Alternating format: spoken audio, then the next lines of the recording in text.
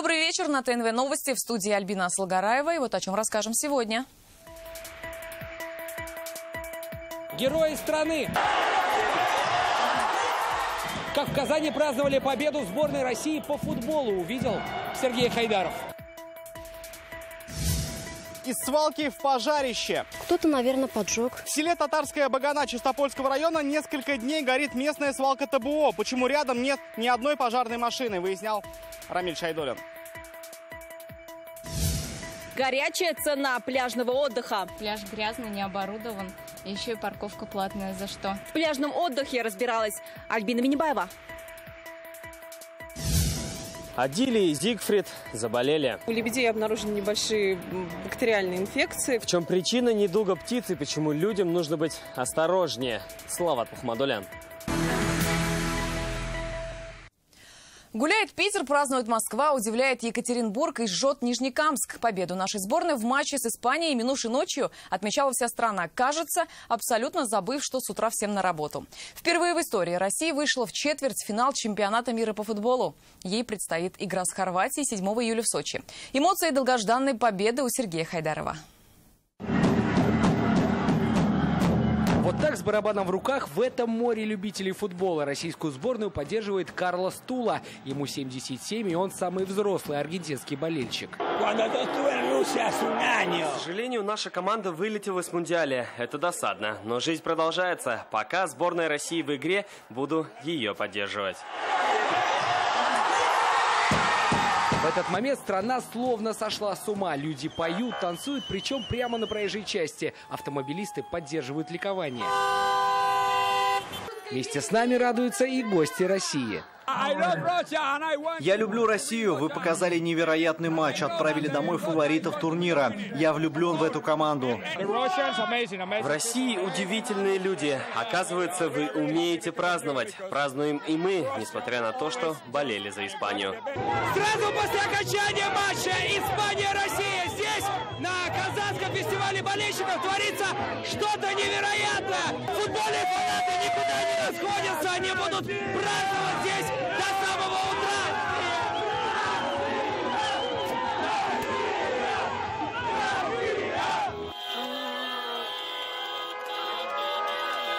А эти кадры сняты через несколько часов после исторической победы в самом центре Москвы. Десятки тысяч людей вышли на улицы с флагами и кричалками. Люди ликуют и в Питере, причем иностранцы радуются не меньше россиян.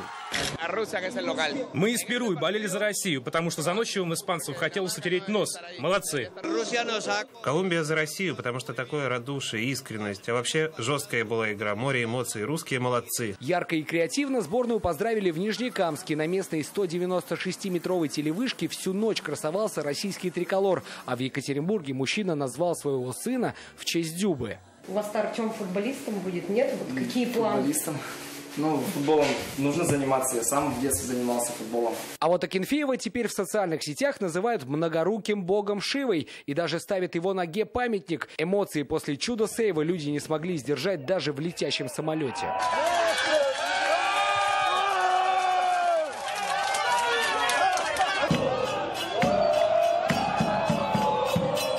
Улица Бауна спустя два часа после матча. Кажется, весь город в триколоре. Некоторые считают, победить помогли усы надежды. Давно ли вы отращиваете свои усы надежды? Вот С сегодня с утра. С самого начала чемпионата. Мы были бородатые и просто побрились. Побрились? И сказали, если Россия выиграет, мы будем две недели ходить усами. В победном шествии российских болельщиков участвуют и испанцы. Карлос Мунья два года живет и учится в Казани. Если вы нас могли выиграть, вы могли выиграть всех. Это вы заслуживаете чемпионат мира. О том, что понедельник рабочий день, кажется, в России забыли. По крайней мере, до утра. Сергей Хайдаров, Александр Лобанов, ТНВ, Москва, Санкт-Петербург, Екатеринбург, Казань. Сегодня на чемпионате мира мы узнаем, кто приедет в Казань. Сразу четыре команды разыгрывают очередные путевки в четвертьфинал. В 5 часов вечера бразильцы на Самарском стадионе начали игру против сборной Мексики. Итог встречи 2-0 в пользу Бразилии. А вечером в 9 часов Бельгия и Япония между собой определят второго соперника по четвертьфиналу. Игра 1-4 финала победителей пар пройдет на стадионе Казань-Арена 6 июля. Болельщикам настолько нравится Казань, что некоторые здесь хотят остаться. Одному из таких Джастину Уолли из Англии сегодня предложили работу. Он станет послом туризма Татарстана. Фанат из Англии сам изъявил желание у нас трудоустроиться. Ленар Геннатуллин о том, почему в Казани мечтают остаться. Это наш традиционный головной убор. Теперь его запомнят англичанином в Тюбетейке, который захотел остаться в Казани навсегда. Потенциальный работодатель – Госкомитет по туризму. Соискатель – Джастин Уолли, футбольный тренер с 18-летним стажем. Я думаю, что вы немножко понимаете. Чуть-чуть. За плечами работа в четырех футбольных европейских клубах. И вот уже пять месяцев успешно тренирует команду в Зимбабве. Так его команда радуется очередной победе пока Джастин на чемпионате мира. Не приехать в Россию он не мог. Путешествие – это его второе пристрастие. Побывал в Москве, в Питере, Сочи, а в Казани решил остаться. И написал об этом в Твиттере. Есть ли шанс, что я смогу остаться в Казани после чемпионата мира и получить работу в отделе туризма города? Пожалуйста. В Госкомитете сообщение прочитали и пригласили на собеседование. Иностранный гость рассказал, что его привлекло. Just, um, very, uh, Атмосфера пребывания в городе расслабляющая. В Казани очень приятно отдыхать. Вне зависимости от мероприятий, проходящих здесь, это место действительно фантастическое, и его стоит посетить каждому. Угостили чак-чаком, рассказали о достопримечательностях республики, и предложили представлять Татарстан в качестве посла по туризму в тех странах, в которых будет находиться Джастин. Мы понимаем, что практически все 100%, кто сюда приезжает, они э, остаются очарованы нашим гостеприимством, красотой, историей, культурой. Поэтому для нас очень важно, чтобы как можно больше людей, которые здесь лично побывали, могли об этом рассказать э, людям других стран. Джастин предложение принял, ушел в тюбетейки и сообщил, что уже четыре человека по его рекомендации купили билеты в Казань. Ленар Геннатуллин, Александр Лобанов, ТНВ, Казань. Чтобы таких, как Воли, стало больше, туристические объекты не перестают удивлять гостей. Сражения на мячах, футбол в доспехах и мяч из глины. С такой интерактивной программой встречают туристов в Свияжске. Сегодня ее представили в городском пресс-центре Мундиаля. Ремесленники сплели из ивы футбольный мяч и угостили всех желающих фирменными оладьями. Кульминацией интерактивного Свияжска стал средневековый бой на мечах в рыцарских доспехах. На весь период чемпионата в рамках интерактивных программ, которые проходят в комплексе линейного торжка, э, бонусом мы дополняем футбольные эстафеты. То есть каждой группе дается возможность. Мы делим на несколько групп, где выдаем часть доспеха, может быть, это будет меч, шлем или щит. И есть возможность посоревноваться и забить гол, прикоснуться к футболу с таком средневековым Казанские оракулы чемпионата мира ушли на карантин. Пара лебедей на Черном озере приболела. Напомним, Зигфрид и Адилия предсказывали нам результаты матчей сборной России на Мундиале. Сейчас птицы под наблюдением. Почему чернокрылым не здоровятся и как на это повлиял человеческий фактор? Салават Мухаммадуллин. Пока дети купаются и наблюдают за рыбами, Адиля и Зигфрид на берегу. Черное озеро буквально оккупировали горожане. Пернатам теперь не совсем комфортно. Жарко же. Круто же, когда в такую погоду купаться.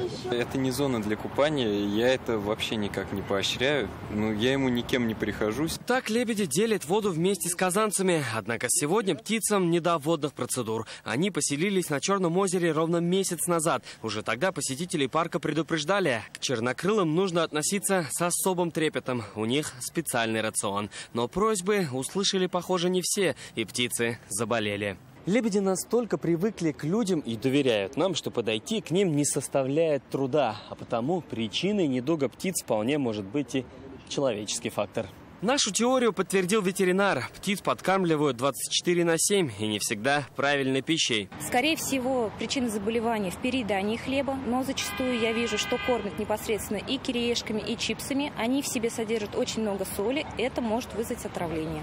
В дирекции парков и скверов информацию подтвердили. Уже с пятницы птицы живут под наблюдением орнитолога. У лебедей обнаружены небольшие бактериальные инфекции, которые вызваны э, неправильным, к сожалению, питанием, но сейчас э, уже назначено лечение, курс лечения специальный. Начиная с пятницы лебеди получают уколы, инъекции, которые позволят им в скором времени уже быть полностью здоровыми. Курс продлится неделю. Так сами люди без злого умысла навредили птицам. Напоминаем, подкармливать лебедей можно только травой и овощами. Хлеб строго противопоказан. Салават Мухмадулин, Амир Залишев, ТНВ, Казань. На смену изнуряющей жаре, которая подкосила не только пернатых, но и метеочувствительных людей, идут дожди. Гидромедцентр объявил об ухудшении погоды. Грозы, град и кратковременное усиление ветра до 22 метров в секунду. МЧС Татарстана советует по возможности в это время оставаться дома или в закрытых помещениях. Из-за жары горы мусора синим пламенем в селе Татарская Багана Чистопольского района огнем охвачена несанкционированная деревенская свалка. Она в считанных метрах от жилых домов. Больше недели селяне боятся, что огонь может добраться и до них. Каково это жить бок о бок с пламенем? Рамиль Шайдуллин. Запах гари и густой дым уже 10 дней накрывает татарскую Багану. Огонь в 100 метрах от села и только разгорается. Стань ветер чуть сильнее, и последствия могут быть необратимыми. Если разъявится, э, пол деревни нету, считай. Деревенские боятся все особенно старушки, старики. Горит на болотистой местности, поэтому можно предположить, кстати, об этом говорят и сами селяне, что так горит торфяник. Но только пламя уже подбирается и до дерева, и до твердых бытовых отходов, потому что многие годы здесь разбита свалка. Свалка, уверяет руководство сельского поселения, появилась незаконно на месте старой фермы. Сначала мусор привезли одни, после стали свозить тележками. За годы свалка выросла до 15 гектаров. Там торф с навозом остался от вековой фермы. Мы туда сгоняли бульдозеры, все окучили. Теперь ничего не угрожает ни лесу, ни дороге, ни селу.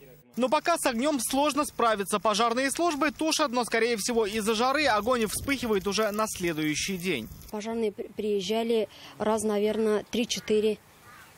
Но там Э, как такового торов не гаснет. Впервые, по словам чистопольских пожарных, на горящую свалку выехали в прошлый четверг. Тушили минимум два экипажа плюс добровольцы. Сегодня она снова в огне. На данный момент э, было организовано взаимодействие с главой сельского поселения, который утверждает, э, что у него на месте дежурит также ДПО «Чулпан». Э, угрозы распространения на населенный пункт, на жилые дома отсутствует. А, дополнительно также было выслано ДПО Маслюнькина. К вечеру пожарные сбили огонь, на место приехали экологи. Вердикт – руководство поселения вынудит убрать опасную свалку, как грозящую не только пожаром, но и метаном и другими газами. Глава сельского поселения, мы ему я на, на завтрашний день его пригласил на собеседование и будем через суд заставлять ликвидировать все это хозяйство. Точных причин возгорания свалки пока нет. Виноватыми могут быть жара, торфяники и даже человеческий фактор. В сельсовете не исключают и факт поджога. Рамиль Шайдулин, Ренат Сафин, ТНВ, Чистопольский район. Место под солнцем за 100 рублей. Автомобилисты Елабуги могут попасть на городской пляж только за деньги. При этом не получают даже чеков. Жители говорят, это традиционная ситуация. При том, что для них это единственное место для купания. Законно это или нет, разбиралась Альбина Минибаева. Заехать можно? 100 рублей. А? 100 рублей. а почему, почему 100 рублей? За что? За парковку. Заплатил, позагорал. Таковы условия пляжного отдыха для автомобилистов Елабуги. 100 рублей за вход, цена близкой парковки. Одни пытаются договориться и скинуть цену, другие просто недопонимают. Говорят, платить не за что. На каком основании платная парковка? Здесь на пляже ничего нет. Пляж грязный, не оборудован. Еще и парковка платная. За что? Я не думаю, что там кто-то смотрит за этими же машинами. Здесь до этого было здесь очень хорошо, чисто, а сейчас на данный момент здесь очень грязно. И за вес за что-то почему-то берут 100 рублей. Если начнешь с ними ругаться, то они скидку, скидку делают до 50 рублей, но платить все равно приходится. По всему пляжу обертки, хворост, бревна и угли от костров. Отдыхающие и не помнят, когда обновлялась территория, а место для спасателя постоянно пустое. Благодарна, что есть солнце и вода у нас уже. В Елабуге так. Кабинки вроде есть переодеться, они какие-то очень старые, как не знаю, сколько они здесь уже стоят. Другие места не оборудованы, купаться негде, по большому счету. Поэтому отдыхающим остается принимать условия монополиста. При этом автомобилисты даже не получают чеков. Тут убираем территорию мы каждый день уборка территории, мусор весь, стекла. Организаторы парковки – субарендаторы. Они заключили договор с компанией, которая и арендует участок у руководства национального парка Нижняя Кама. По словам организаторов парковки, деньги идут на благоустройство. Этот сбор идет чисто на территорию, на музыку, которую ну, они слушают и отдыхают, и на место, которое мы им бесплатно предоставили. О 100-рублевом жарком споре на пляже знают и в исполкоме Елабуги. По словам руководства, земля принадлежит национальному парку Нижняя Кама. Загорать можно бесплатно, но вот парковаться по прайсу. Можно поставить машину до шлагбаума и пройти пешком бесплатно. А заезд на данную территорию, да, он ежегодно уж э, остается 100 рублем. Обычно там машину оставляем, мест нет. Пришлось заплатить 100 рублей заехать. Альтернативы нет. Остается или соглашаться с условиями, или добираться до пляжа без автомобиля. В течение этой недели пообещали наладить систему, чтобы выдавать чеки. А по будням до пятницы стоимость парковки составит полцены. Альбина Минибаева, Ильшат Аюпов, Рамиль Закиев, ТНВ, Елабуга. Если у вас есть о чем рассказать, на что пожаловаться, а может наоборот поблагодарить, ждем ваших звонков по телефону 570 50 17. Это новости на ТНВ. Далее в программе. Для спасения домов жертву сады и леса. Мы всю жизнь положили под эти сады. Как изменили генплан Казани, публичные слушания увидела Лина Знатулина. Он объединил 14 коллективов со всей республики. На национальном празднике Грон-Батон побывала Айлина Мусина.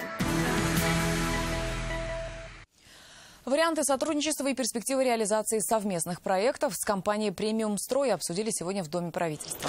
Рустам Миханов встретился с руководством фирмы. Компания предлагает полный комплекс работы и услуг, связанных со строительством жилых зданий и инфраструктурных объектов. И чуть позже президент вылетел в Москву. В рамках рабочей поездки Рустам Миниханов встретился с новым министром сельского хозяйства России Дмитрием Патрушевым. Принял участие глава Минсельхоза Татарстана Марат Ахметов. Обсудили состояние дел в отрасли республики, ход уборочной кампании в Татарстане и перспективные инвестиционные проекты в АПК. Дмитрий Патрушев отметил устойчивый и стабильный рост в сельском хозяйстве в республике. У агрокомплекса хорошие показатели в растениеводстве и животноводстве. Большое внимание поддержке фермеров и обновлению сельхозтехники. Где-то убрали дорогу, где-то сократили застройку, а где-то вернулись к старой схеме. В мэрии Казани сегодня подвели итоги общественных слушаний по новому генплану города. В обсуждениях, которые проходили с 29 мая по 6 июня, участвовали больше 4 тысяч казанцев. Их предложения уже отразились в документе. Кого услышали, а для кого изменения обернулись проблемой, Лина Зинатулина. Мы начинали с колышка. Тут вообще ничего не было. Так о своей даче рядом с Новой Сосновкой рассказывает Вера Евдокимова. Вместе с внуком она живет здесь целое лето, держит огород. Во время публичных слушаний выяснилось, участки под угрозой сноса. Я понимаю, что дорога, возможно, это и надо.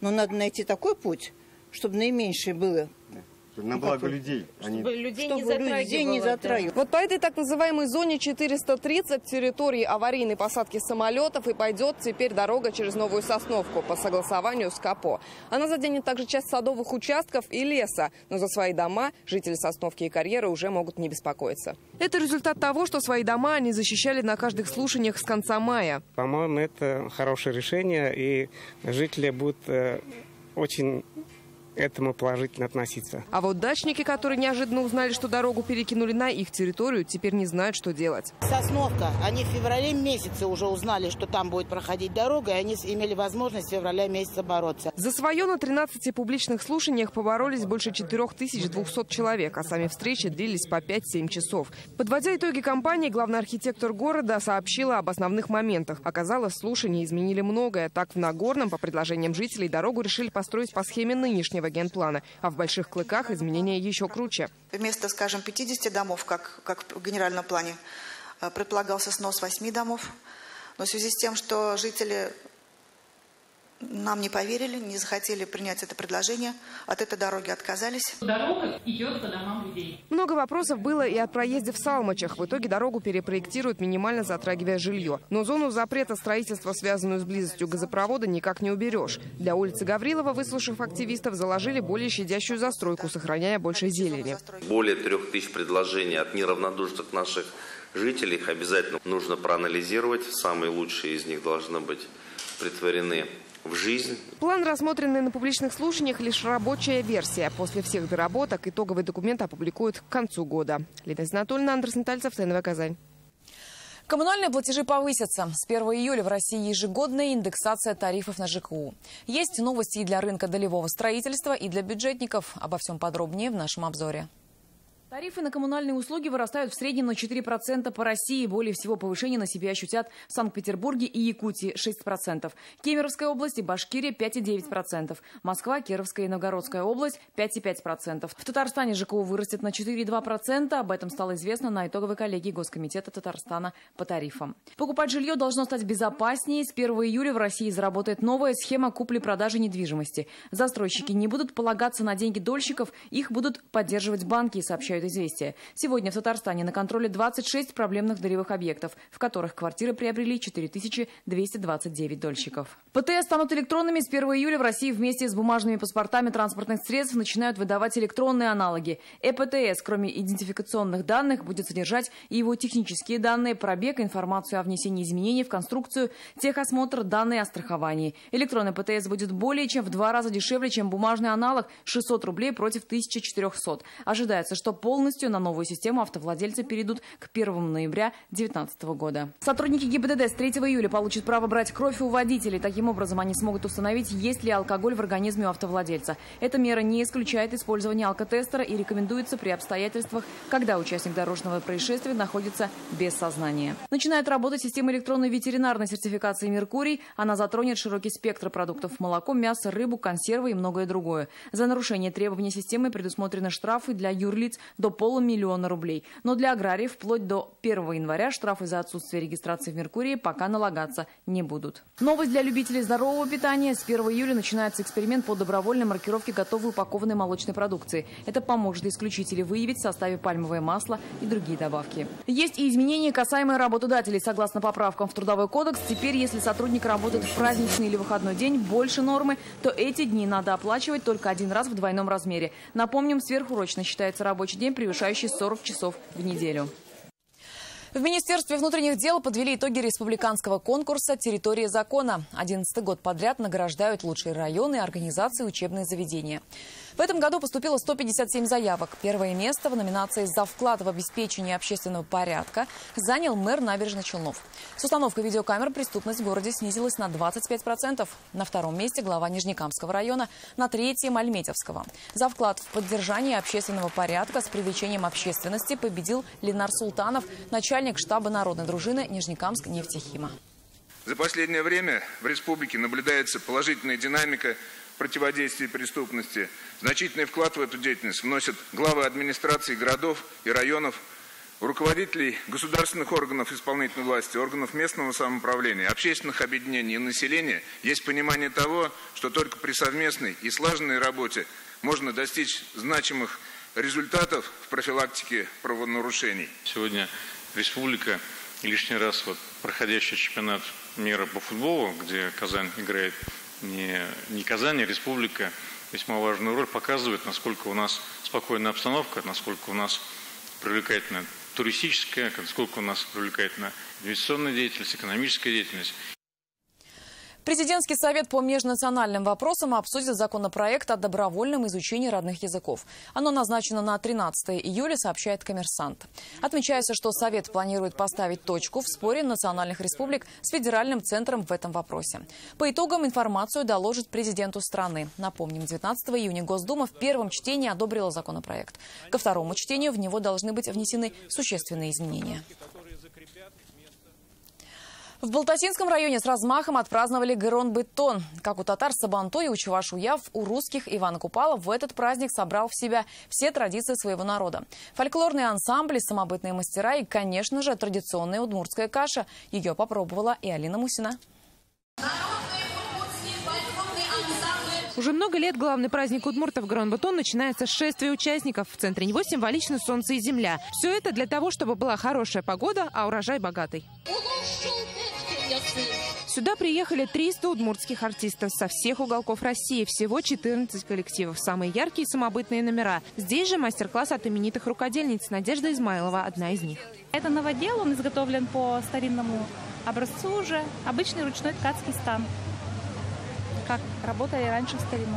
Гронбеттон по традиции проводят на лугу в период цветения. В переводе праздник означает окончание посевных работ. Это и роднит его с татарским сабантуем.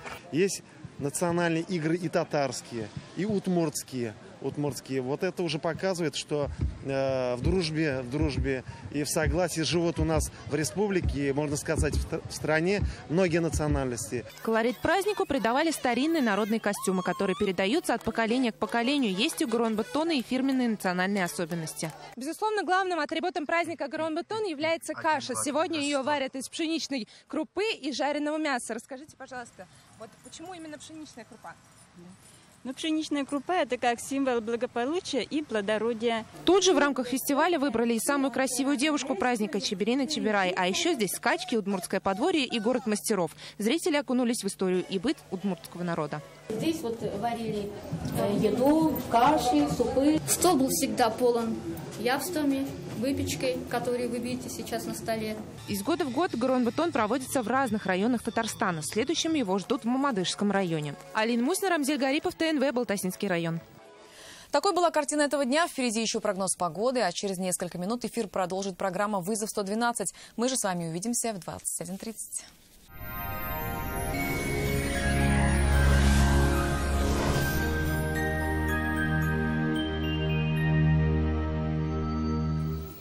Здравствуйте! Время новостей о погоде. Спонсор выпуска – изготовитель корпусной мебели на заказ Данил Мастер. Вам нужен шкаф-купе? Качественный, недорогой, по вашим размерам. Данил Мастер исполнит ваше желание. Успейте заказать в июне со скидкой 20%. Данил Мастер, Казань, Восстание, 23. Телефон 2167 166. Ну что ж, а теперь о погоде. В республике сохраняется жаркая погода, но в предстоящие сутки местами ожидаются осадки. По данным сервиса Яндекс Погода, на юго-востоке республики облачно, без осадков, плюс 33. На северо-востоке Татарстана местами пройдет дождь, там температура воздуха составит плюс 32 градуса. На севере республики переменная облачность, плюс 32.